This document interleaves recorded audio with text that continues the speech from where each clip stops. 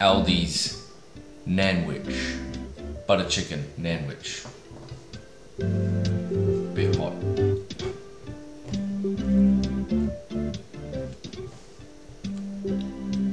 Yeah. Very dry bread and very stiff, like microwaved bread, which is what it is.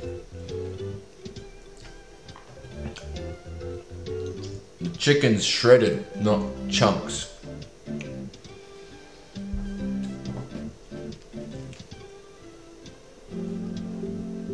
Mmm.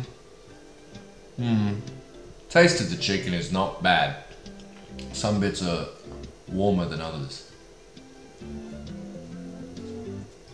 I think the concept is sound, but just the microwave aspect makes it not as good. It's going to be a hard thing to improve. The chicken meat is not bad.